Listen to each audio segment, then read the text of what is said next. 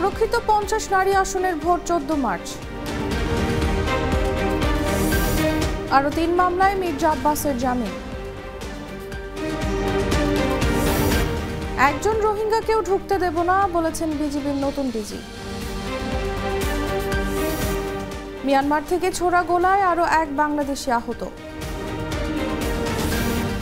শাহজালালে মানি লন্ডারিংয়ে জড়িত সরকারি বেসরকারি bank money changer.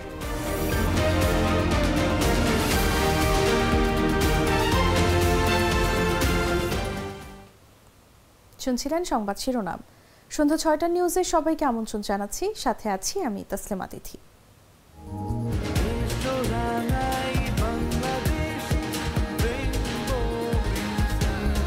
Rainbow paints ছড়াও জীবনের রং।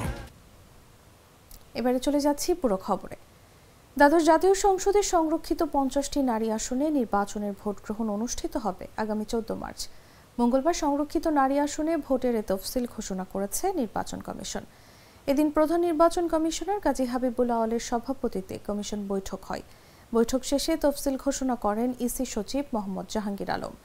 তিনি বলেন, আগামী আঠারো ফেব্রুয়ারি সকাল নয়টা থেকে বিকেল চারটা পর্যন্ত রিটার্নিং কর্মকর্তার কাছে প্রার্থীরা মনোনয়নপত্র দাখিল করতে পারবেন। রিটার্নিং অফিস থেকে মনোনয়নপত্র যাচাই বাছাই উনিশ ও বিশ ফেব্রুয়ারি। মনোনয়নপত্র দাখিলের বিরুদ্ধে আপিল বাইশ ফেব্রুয়ারি। আপিল নিষ্পত্তি চব্বিশ ফেব্রুয়ারি। প্রার্থিতা প্রত্যাহারের শেষ তারিখ পঁচিশ ফেব্রুয়ারি। প্রতীক বরাদ্দ সাতাশ ফেব্রুয়ারি।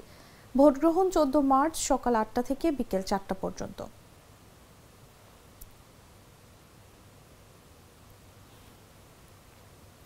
রাজধানীর শাহজাহানপুর, পল্টন ও রমনা মডেল থানার পৃথক তিন মামলায় বিএনপির স্থায়ী কমিটির সদস্য মির্জা আব্বাসের জামিন মঞ্জুর করেছেন আদালত। মঙ্গলবার তিন মামলায় জামিন চেয়ে আবেদন করেন আইনজীবী মহিউদ্দিন চৌধুরী। ঢাকার অতিরিক্ত মেট্রোপলিটন ম্যাজিস্ট্রেট মোহাম্মদ সুলতান সোহাগ উদ্দিনের আদালতে শুনানি শেষে দশ হাজার টাকা মোসলেকায় এই জামিন মঞ্জুর করেন। গত এক পহেলা ফেব্রুয়ারি কারাগার থেকে মির্জা আব্বাসকে আদালতে হাজির করা হয়। শুনানি শেষে আদালত চলাকালীন ঢাকার মেট্রোপলিটন ম্যাজিস্ট্রেট রাজেশ চৌধুরী পল্টন থানার পাঁচ মামলায় এবং ঢাকার অতিরিক্ত metropolitan magistrate Mohammad Sultan Sohag Uddin Ramna model থানার চার মামলায় গ্রেফতার দেখানোর আবেদন মঞ্জুর করেন।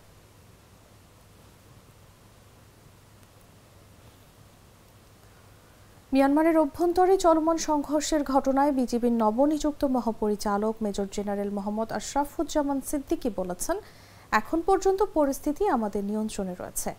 তিনি বলেন, কোনোভাবেই রোহিঙ্গাদের বাংলাদেশের ভেতরে ঢুকতে দেব না।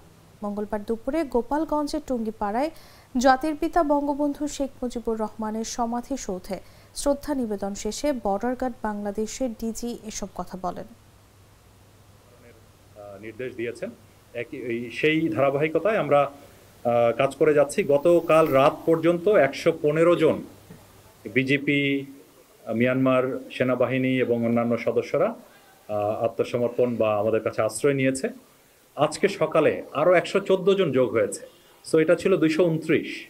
পরবর্তীতে দুপুরের মধ্যে আরও পঁয়ত্রিশ জন যোগ হয়ে বর্তমানে দুইশো চৌষট্টি জন আছে। তো এই দুইশো চৌষট্টি জনকে আমরা আশ্রয় দিয়েছি খাবারেরও ব্যবস্থা করেছি। এর মধ্যে আহত পনেরো জন ছিল, পনেরো জনের মধ্যে আটজন একটু গুরুতর আহত, তাদের চারজনকে কক্সবাজার সদর হাসপাতালে চিকিৎসা দেওয়া হচ্ছে। আর চারজনকে আমরা ডাক্তারের পরামর্শক্রমে তাদের জীবন রক্ষার জন্য চট্টগ্রাম মেডিকেল কলেজে স্থানান্তর করেছি গতকাল আমাদের বিজেপির ব্যবস্থাপনায় বিজেপির ব্যবস্থাপনায় এবং প্রহরা প্রদান করা হচ্ছে। মিয়ানমার থেকে ছোড়া গোলায় বান্দরবানের নাইখংছড়িতে সৈয়দ আলম নামের আরও এক বাংলাদেশি যুবক আহত হয়েছেন। মঙ্গলবার দুপুরে উপজেলার ঘুমধুম ইউনিয়নের পশ্চিমকুল পাহাড়পাড়া এলাকায় এ ঘটনা ঘটে। সৈয়দ আলম ওই এলাকার কাদের হোসেনের ছেলে। রাইফেলের গুলি আইসা, এখানে গাছে গাছ থেকে আবার আমার কপাল আইসা, এখানে কপাল ভরে এদিকে চলে গেছে, এরপরে কপাল গেছে। আমি ধরে হাসপাতালে চলে আসে এখন হাসপাতালতে ওষুধ দিছে আমাকে। রাইফেলের গুলি আইসা, মায়ানমার থেকে আইসা, গাছে লাগছে, এরপর আমার কপালে লাগছে। যে ইয়াতে ওই যে আশ্রয় কেন্দ্র উত্তর গন্ধম আশ্রয় কেন্দ্র চলে যাওয়ার জন্য বের হয়েছি আমরা। আমাদের এই গন্ধম ইউনিয়নের চেয়ারম্যান জাহাঙ্গীর বলছে যে চলে যাইতে আমরা চলে যাওয়ার পথে এই ব্যাগ ট্যাগ নিয়ে বের হয়েছি এরপরে একটা গুলি এসে গাছে লাগছে গাছ থেকে এরপর আমার কপাল লাগছে কপাল লাগে এরপর আমার আমি এভাবে সিবি ধরে হাসপাতালে চলে আসছি। Come on, come on, come on, come on, in juicy, juicy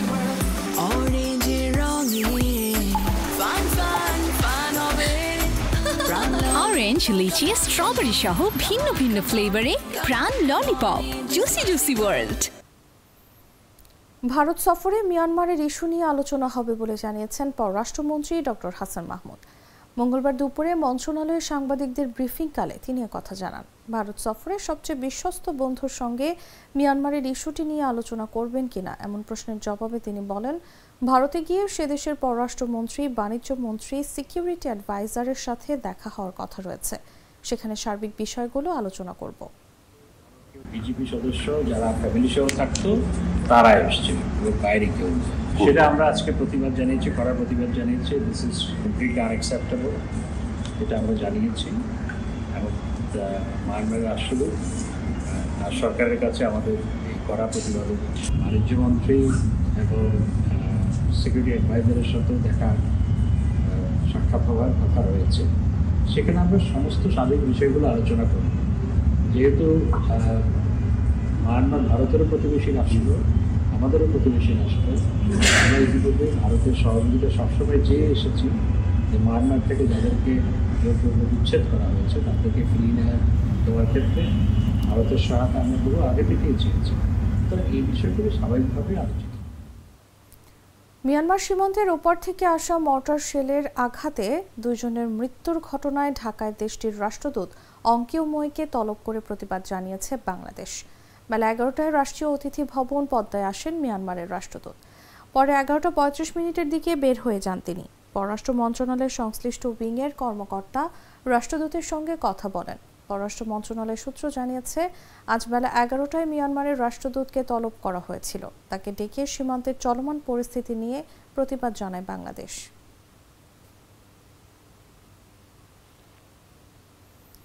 দেশে ফেরা প্রবাসী শ্রমিকদের কাছে থাকা বৈদেশিক মুদ্রা অবৈধভাবে সংগ্রহ করে মানি লন্ডারিং এর মাধ্যমে বিদেশে পাচার করছে এক চক্র। এই অনিয়মে জড়িত সরকারি ও বেসরকারি বিভিন্ন ব্যাংকের অসাধু কর্মকর্তা ও কিছু মানি এক্সচেঞ্জার। এই অসাধু কর্মকর্তাদের কারণে প্রতিদিন শত কোটি টাকার সমমূল্যের বৈদেশিক মুদ্রা থেকে ব্যাংকিং খাত বঞ্চিত হচ্ছে। এমনটি জানিয়েছেন দুর্নীতি দমন কমিশন সচিব মোহাম্মদ মাহবুব হোসেন। মঙ্গলবার সাংবাদিকদের এই তথ্য জানান দুদক সচিব।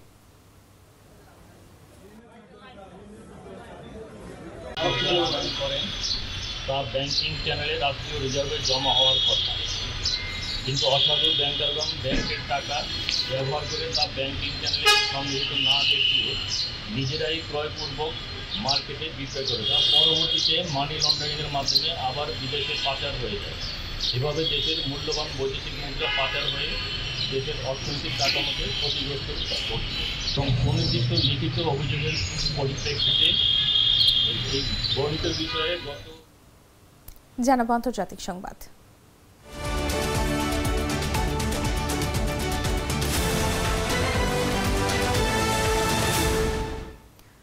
সম্প্রতি সিরিয়া ও ইরাকে হামলার মাধ্যমে যুক্তরাষ্ট্র মধ্যপ্রাচ্য সংকটকে স্থায়ী করছে বলে অভিযোগ করেছে চীন ও রাশিয়া। সোমবার জাতিসংঘের নিরাপত্তা পরিষদের বৈঠকে এই অভিযোগ করে দেশ দুটি। কয়েকদিন আগে প্রতিশোধ নিতে ইরাক ও সিরিয়ায় বেশ কিছু লক্ষ্যবস্তুতে আঘাত হানে যুক্তরাষ্ট্র।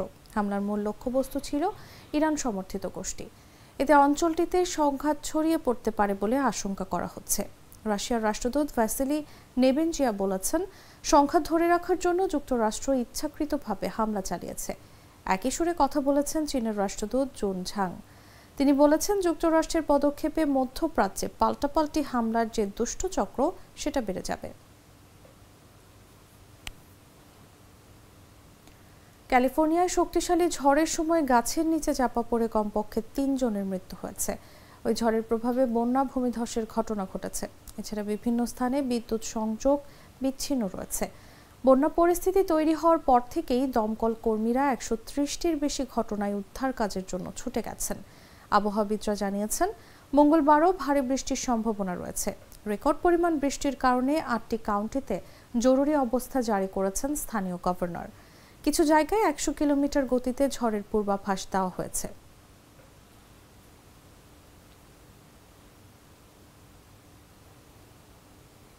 দর্শক এই ছিল এখনকার মতো। এরপর দেখবেন সন্ধ্যা সাতটা নিউজ। দেখার আমন্ত্রণ জানিয়ে এখানেই বিদায় নিচ্ছি। ধন্যবাদ এতক্ষণ সাথে থাকার জন্য।